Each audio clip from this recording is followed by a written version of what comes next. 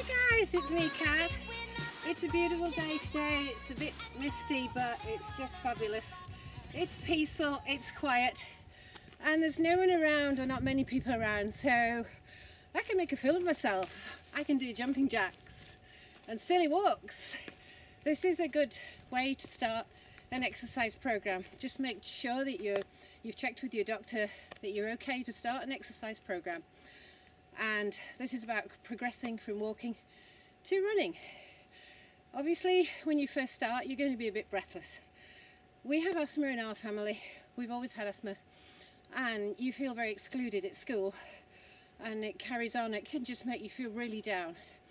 But I've worked at this. Um, the rest of my family are working at this to raise our fitness levels.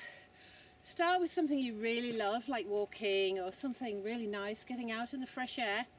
Just gentle walking. Start to loosen up your joints your muscles, your ligaments, just gently walking along and try at least 10 minutes of that, getting yourself nice and warm. Even if it's just on the spot with your iPod or something that makes you feel really good and groovy.